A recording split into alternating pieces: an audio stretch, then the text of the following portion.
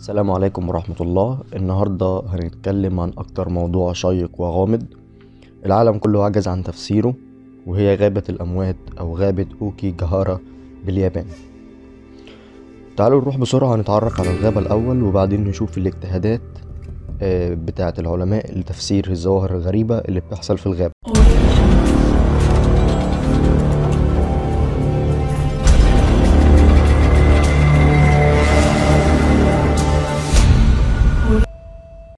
أعجبك الفيديو. لا تنسى الإعجاب والاشتراك في القناة.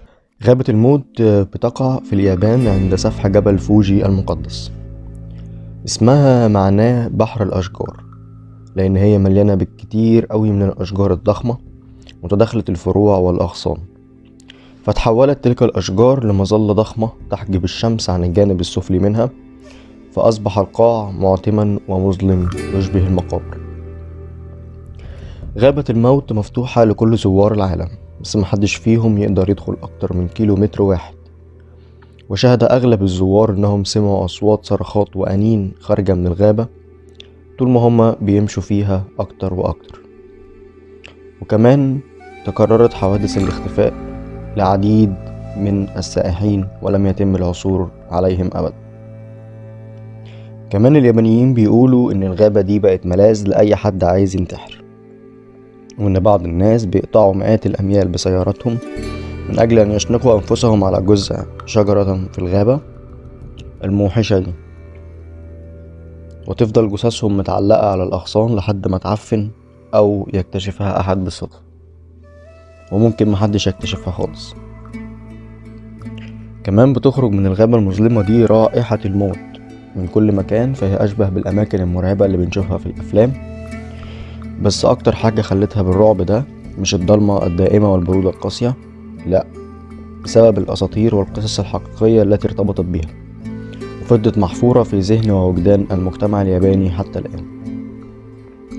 بيقولك بقى الإدارة المسؤولة عن الغابة بتجبر الموظفين من حراس الغابة على المبيت ليلة كاملة مع الجثث التي يتم العثور عليها في خيمة خشبية. وهنا بيرفض العديد منهم تلك المهمة المرعبة ولكن بيتم الموضوع في النهاية بإجراء- قرعة ومن يخسرها يكون هو الشخص المنحوس للمبيت مع الجثة. تفسير الطقس ده إيه؟ آه، إن ال إن ال إن ال إن الطقس ده بيعود جذوره إلى قصص ومعتقدات يابانية قديمة فاليابانيون بيؤمنوا بأن الأرواح لابد أن يتم تقديم وافر الاحترام والتقدير له حيث تقام جنازة لائقة لمن مات ويظل أهل بيته يقدمون لأنفسهم التعازي عقب إنهاء إجراءات الدفن.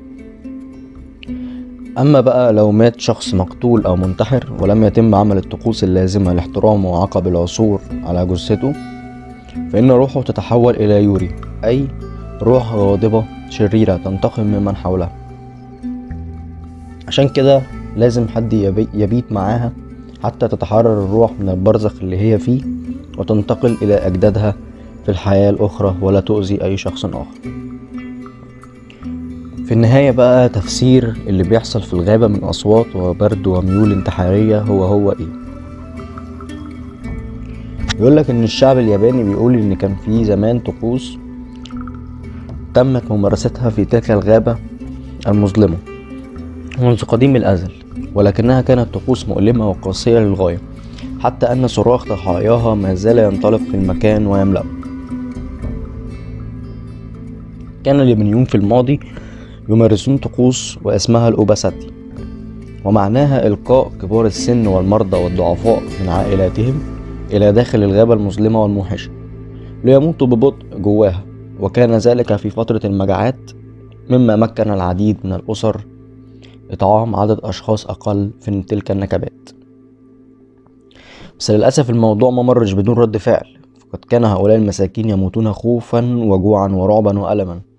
فكان منهم من يتخلص حياته شنقا على جذع شجرة فامتلأ المكان بأرواح هؤلاء الأبري- الأبرياء الذين ماتوا غضبا وظلما.